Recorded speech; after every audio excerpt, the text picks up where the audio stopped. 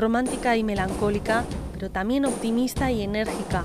Son las dos facetas que caracterizan a la cantante italiana Laura Pausini y que ella misma descubre en su nuevo disco inédito.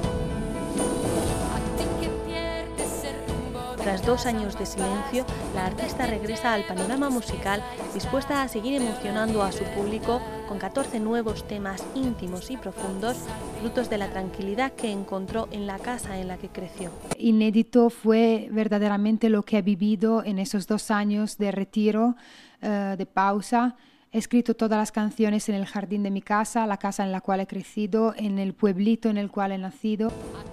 Bastaba, me quedo o a simple vista son algunas de las canciones incluidas en este disco que se abre con Bienvenido, un tema rebosante de optimismo que dedica a aquellos que están pasando una situación complicada.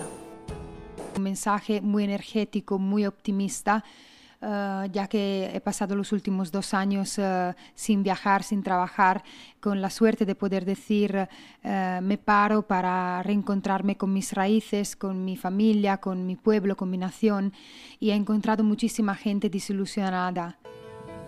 En su próxima gira, que en abril pasará por España, Laura Pausini hará un recorrido por todos sus éxitos, con versiones pop, rock, acústicas y dance.